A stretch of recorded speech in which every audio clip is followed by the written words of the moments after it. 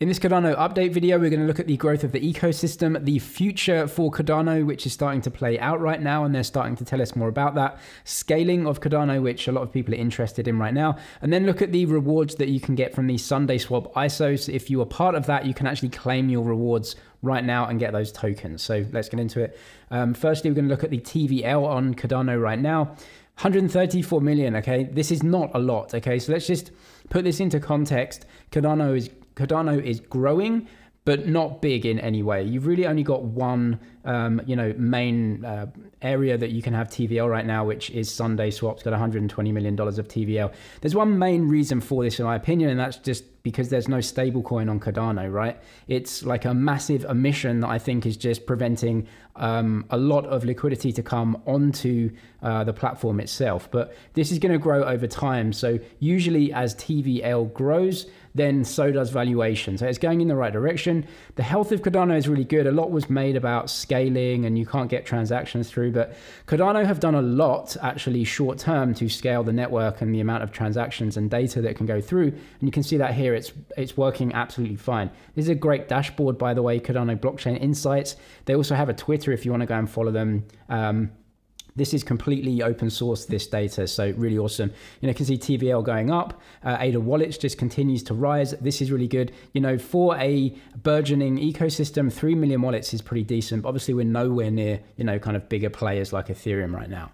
Explosive growth is good, and we obviously have a bunch of lending protocols as well that actually can't launch yet until some improvement proposals actually get uh, through, which is going to be in the middle of the year. So I don't really think TVL is going to grow that much until those lending protocols come on. A lot more liquidity goes into them as well. But um, another Cardano account on Twitter, Cardano Daily, you know, shows us this one. You can see uh, SundaeSwap is actually in the um, kind of biggest growth, um, you know, applications by TVL TVL, right? So, you know, again, 114 million, it's comparatively small, but 66% growth is decent. But, you know, looking at other systems like um, Astroport on Terra, you know, that's grown 46% and it's got over a billion dollars in TVL. So TVL's not high on Cardano right now. They're still building out these apps. And so for my, in, in, in my opinion, it's not going to come till really the second half of this year, but, you know, growing and, you know, people obviously want to start using it.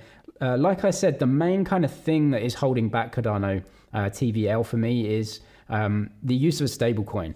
People just do not want to, you know, go into Cardano all the time. You're swapping a risk asset for a risk asset, and it just it's just not ideal institutional investors, large investors, you're going to have to have some sort of stablecoin on here. Cardano is working on a decentralized stablecoin called Djed. Um, I really don't like this name. I think they should either call the actual coin something else, but hey, you know, uh, let's see if it works out. So the way that Djed works in in a decentralized way is exactly the same as Terra Luna and UST. It's exactly the same um, in terms of it has a reserve asset. The reserve asset will not be listed on the crypto market, as far as I know. COTI came out with an update and said essentially the uh, reserve asset is going to be open to to qualified investors only. So read into that. Essentially, in the states, there's lots of securities regulations that prevent normal people buying these things.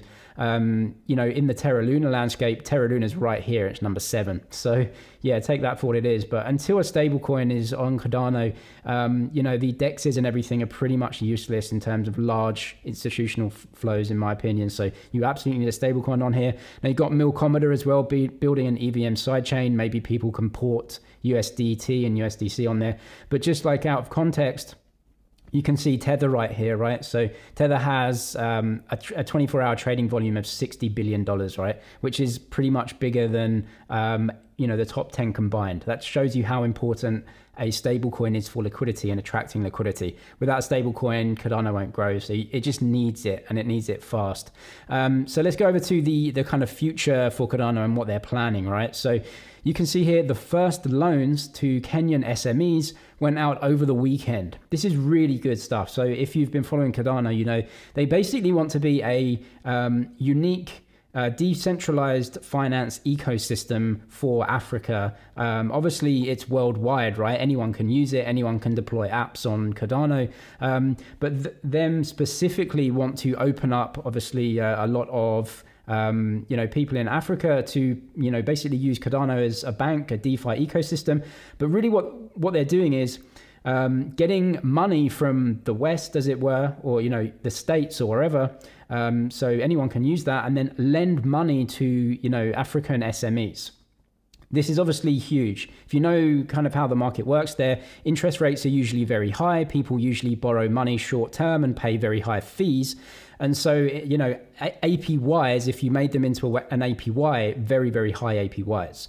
Um, so obviously, Cardano is trying to step in here and essentially lower the interest rate for people in developing countries to borrow money, but also comparatively for investors um, that are outside of those areas, you know you can invest and get a comparatively higher rate than what you currently get in a you know an investment product in you know America or Europe which is you know sometimes minus percent right? So zero percent. So this is what they're trying to do. And obviously this is a really amazing use case where you can actually use Cardano to get a great yield um, and because of uh, the loans being you know kind of uh, over they'll basically be pockets of loans right? So you, will have a, a fairly decent risk profile profile for the loan um, so fairly low risk um, but higher rewards than usual. It's just opening up the market, right, that, to one that hasn't been there.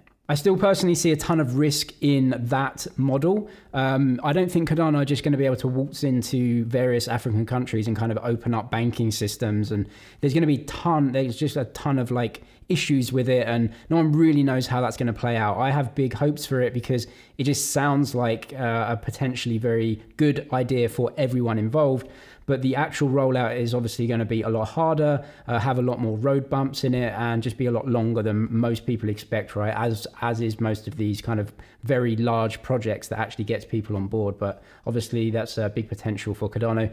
Just want to come to some of the updates for Cardano as well. Uh, they released the February release, which has some upgrades to the network. Um, one of them is this new multi-sig transaction um, update. So obviously, a multi-sig wallet is a wallet where more than one person has access to it uh, or, or I should say, more than one person is required to sign transactions, right? So multi sig, think of it like um, two people having access to the wallet, and both of their keys are required to sign it.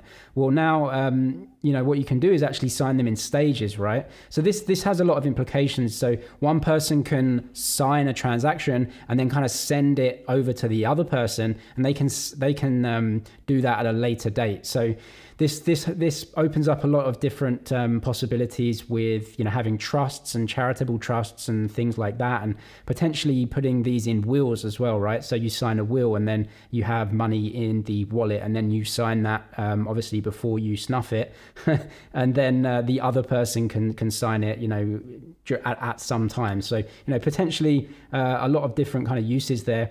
Um, and then let's look at the, uh, the, the other upgrades, which are basically for scaling Cardano. So there's a ton of different scaling solutions, and these are quite unique to Cardano because Cardano uses UTXO as an accounts model um, and not the account uh, the accounts model like Ethereum. So there's kind of a lot of different ways to scale uh, Cardano, right? So one is transactions. Um, and you know unspent transaction outputs can be scaled in different ways. You have Hydra, which can scale transactions um, but obviously, that's different to actually scaling um, smart contracts, which are much larger, right? So you can see what they're doing here. They're doing block size increases, pipelining, and input input endorsers.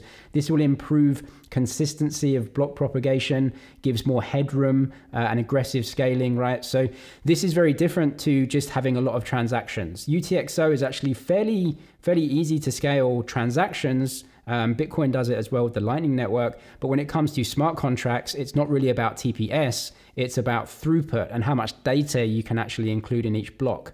Um, so there's a lot of different challenges, but they're working on this, and I expect this to come out in uh, June at the HFC event. So that will be when um, a lot of really big upgrades are kind of uh, put in place. Just want to come to the SundaeSwap token rewards as well. If you were staking ADA in the SundaeSwap ISO, you can now get your rewards on DripDropz. I'll link them in the description uh, if you want to go through uh, to DripDropz to get it. So come to the homepage, it should look like this. I've already done this. So you need to put your wallet address in, the wallet address that was staking in the, the ISO. Um, it will come up with your Sundae rewards right here. You need to click uh, claim token, and it will take you through to this page.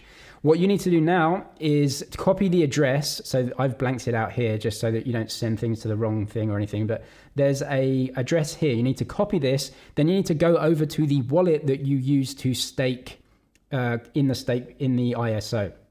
So do that, come over to your wallet and then press send.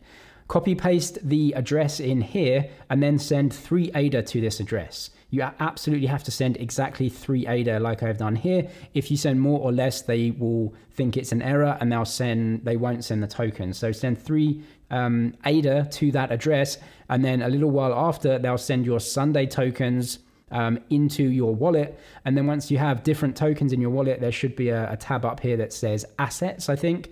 Um, and then that will be in there. That's if you're using Yoroi. Obviously, if you're using a different wallet, then um, it won't be this, but you still have to send those tokens. So that's it for this video. If you want to get uh, some Bitcoin deposit bonuses, check the links in the description. If you want to check out the crypto investor course, that is linked in the description as well. I'm James with MoneyZG. Cheers for watching, and I'll see you in the next one.